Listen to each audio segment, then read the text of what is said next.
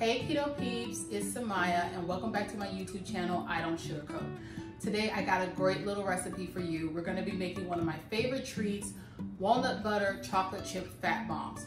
Fat bombs are really great at helping you to meet your macros. If you find that you're a little bit short on reaching your fat goal for the day, make some fat bombs, eat one, eat two, and I guarantee you're gonna be right where you need to be. So let's get started.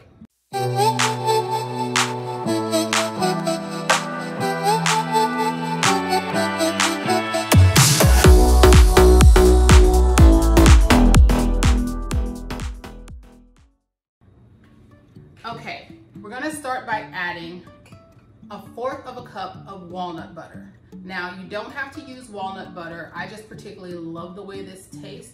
So you can use almond butter or you can use peanut butter, whatever you prefer. I've actually had it with all three. To me, walnut butter is the best, then comes peanut butter, then comes almond butter.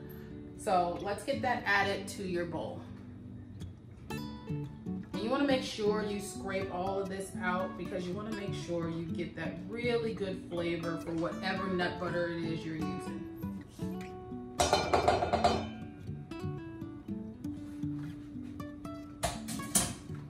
And now you wanna add half a stick of butter or four tablespoons of butter.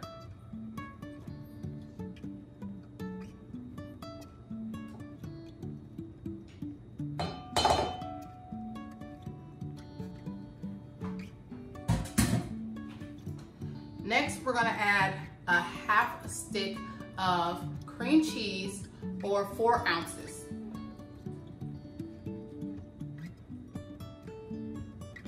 And you wanna make sure that the butter and the cream cheese and your nut butter are all at room temperature because it's gonna make it easy to blend together. Okay, and now we're gonna add your sweetener of choice. If you wanna use a liquid stevia, great, go ahead. Um, I like to use granular for this recipe, but some people like to use um, confectioner swerve.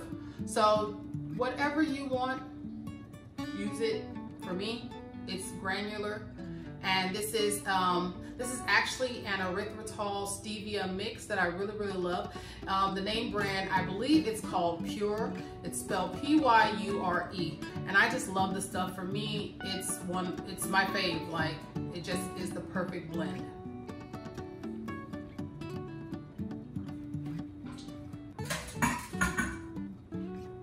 And you wanna add in a teaspoon of vanilla.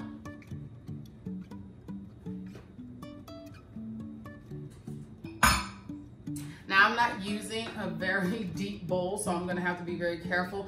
Uh, I like to use this bowl because after we get done mixing everything together, you gotta let this sit in the refrigerator for about 30 minutes and then you're gonna scoop them out into single servings. And using a metal bowl really, really helps it to chill. So just note that if you're not using a very deep bowl, that it is gonna kind of splash out. So make sure you make note of that. Okay, now that my ingredients are almost well incorporated, I am going to get that first before I drop it. Okay, I am going to go ahead and use my spatula to kind of bring everything down towards the bottom of the bowl so that my mixer can, my hand mixer can uh, get it all blended up nice.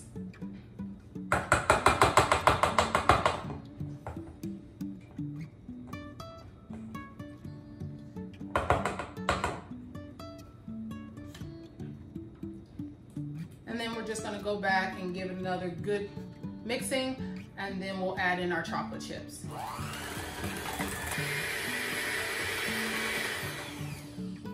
Okay.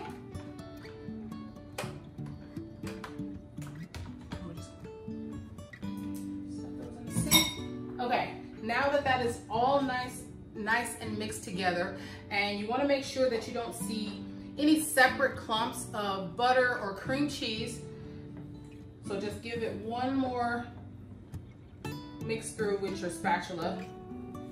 And now that I see that everything is nicely blended, I'm going to add in a third of a cup of um, semi-sweet chocolate chips. And these are made by Lily's.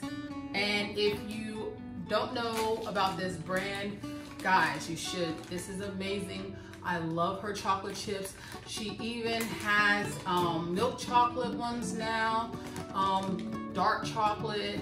Uh, you can find them sometimes in certain Walmarts, um, or you can order them from um, Amazon, or you might be able to find them at your local grocery store. It just kind of depends.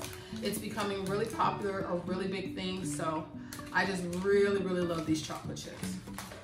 And they would probably make for a good snack, but I don't want to get carried away, so I only use them for recipes. So one third of a cup. And now you just want to fold this in.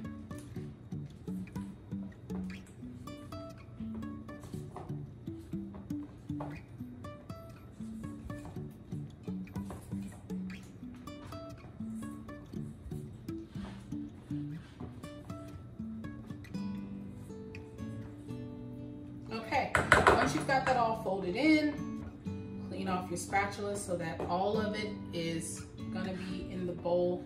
And now you just wanna go ahead and cover this and let it sit in your refrigerator for 30 minutes and then we're gonna get them scooped out and put in the freezer because these you wanna eat frozen. So I'll be right back once these are ready to scoop out. Okay guys, it's been 30 minutes and now it's time to get our fat bombs scooped out and put into, um, I'm using some little uh, uh, food prep containers to put mine in and they've just got these little tiny um, cupcake uh, liners in there so we can just keep them nice and separate and keep them as little single servings. So let's get um, the plastic wrap off of there. Now, if you have yourself a tiny cookie scoop, that would be the best thing to use. But if you don't, just use a spoon and get in there use your finger, get them in there as nice and neatly as you can. All right. And as you can see, it's a, your fat bombs will be a little bit more stiff now. And just wanna You gotta be careful dropping them in there. They'll tip over, teeter over, and move around a little bit. But once you start getting them in there, the papers will be still. And try to make sure you don't use too much because you wanna try to get at least 12 out of this.